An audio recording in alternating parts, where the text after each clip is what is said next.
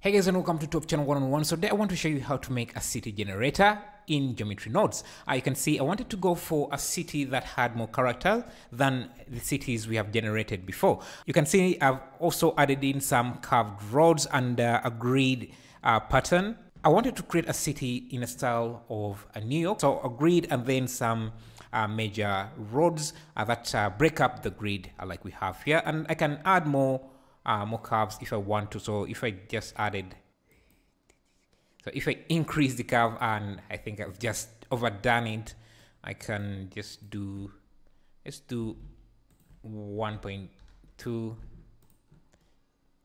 Yeah, you can see we can add a lot of character to the city. There are a lot of parameters you can adjust to make the city look even better. And you can even change, switch out the materials to get a different look. So I have two sets of materials here and uh, you can see just switching from one to, uh, to the other just changes.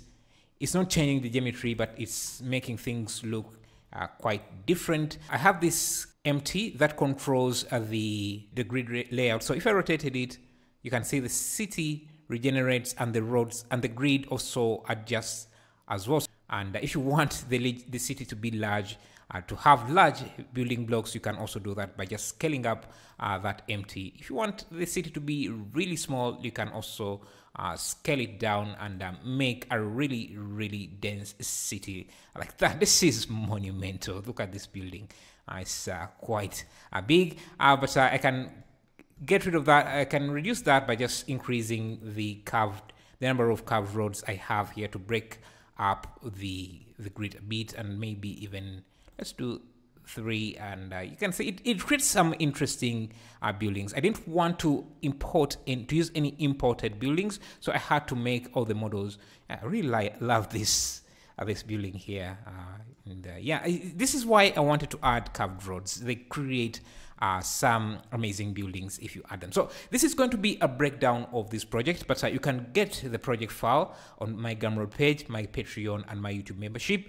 And yeah, all links are going to be in the description. So this is going to be just a project overview of how I set up everything, but I'm also going to create a comprehensive uh, tutorial series breaking down the entire process step by step. So let's look at how I set this up. I table here, you can even change the seed. Uh, this is just going to change the height of the building and the style of the buildings, but it won't change the grid or the curved roads. So let's see how I set this up. Let me go to the layout here we start with a curve here that I should show you that if you edit this curve, the city adjusts as well. So I can go to edit mode and uh, just, yeah, so you can see if I edit this curve, the city also changes accordingly. You start with uh, the curve like this and fill it in because we want to instance points that we want our roads, our curved roads to be instanced onto. So here I distribute, I distribute a few points on the curve and uh, instance roads onto that. So the roads are just uh, a line, yeah, a simple line like that, uh, that I resample, uh, set, change the spline type to, to NURBS so that I can add some noise uh, to make it a bit curved, uh, just like that. And most of all these other nodes are just to set up some uh, attributes for UVs later to use uh, to, un to unwrap the, road. Uh, for example, this, uh, let me see, can I even, yeah, you can see this are just capturing the length of the curve uh, to create UVs uh, that I later use in the to, to map the roads. So from there, uh, you instance this curve. It's just a single curve like that, and uh, you instance it on onto the points we generated here to have something like that. Let me just get rid of this preview. Yes, so you instance this. I'm also capturing the instances.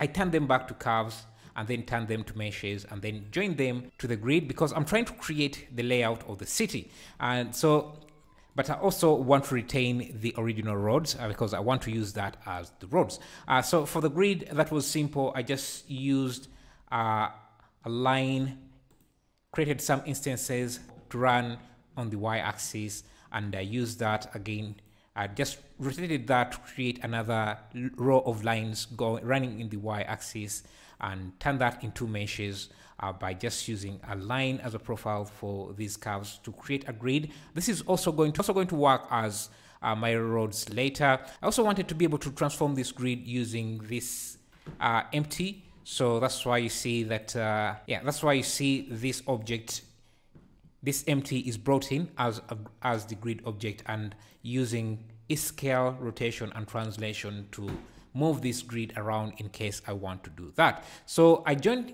the roads curve and uh, these together to form the grid, but you can see there's a lot of intersection and what is not yet enough to, uh, to get the grid I want. Because these are curves, I can fill them with curves to get a grid like that, but uh, it has a lot of issues. Some areas are intersecting. So this this area should be empty. I don't want these islands here that are, yeah, because those are also supposed to be empty areas.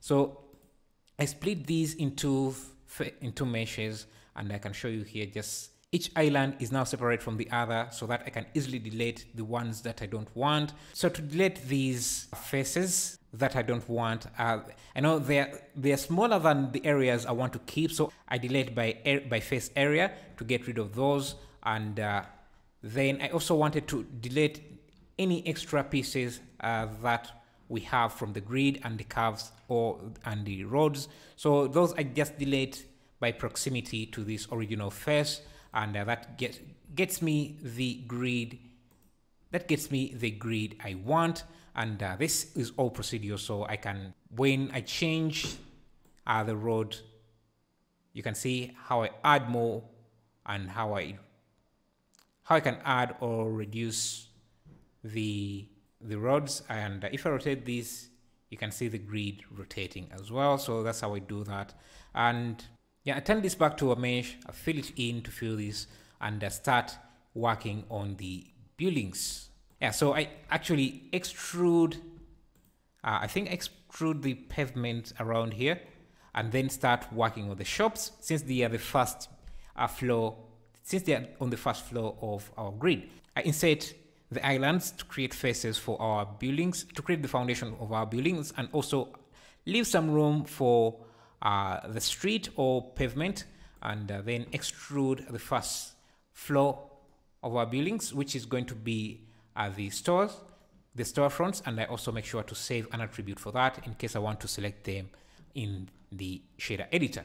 And from there, I extrude one more time and scale out to separate the next level of building, the next section of the building to get the actual height of the building. I also randomize the offset of the buildings a bit to get something like that.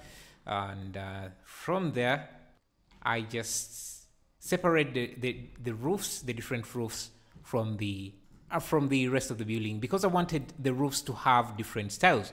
So from there you can see, and, and I want to have random styles for different buildings. So I further isolate this set and this set and each one is going to be a different type of roof. So I extrude, so I extrude and insert, extrude uh, to create an, an extra level of detail to the building. And uh, again, I think I start adding detail uh, detail. I think i start to even start i even start adding materials at this stage. Yeah you can see the different roofs. So some of the buildings are extended a bit than others but uh, you can see here i have this pyramid like roof and this flat base uh, roof. I'll be showing you how to do this step by step yeah so those are the th three different styles one extends as a building and uh, the other is a, a pyramid and the one that just pushes in simply like that. And uh, I join it, I join it back to this original building set. And uh, at this stage, I also apply uh, some materials. And now you can see we have a city block, but without any roads just yet.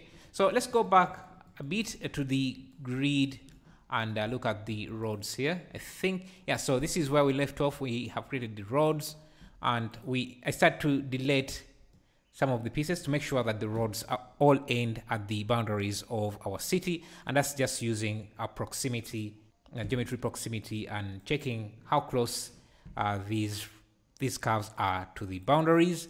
Um, again, I'll explain this in detail uh, in the tutorial series that will be on my Patreon and my Gumroad page and my YouTube membership page. So here I continue adding in the materials and uh, since I already UV unwrapped those uh, right here, I think I have here I have these UV unwrapped and I think I should also have UVs for the grid. Yeah, so those are also UV unwrapped there.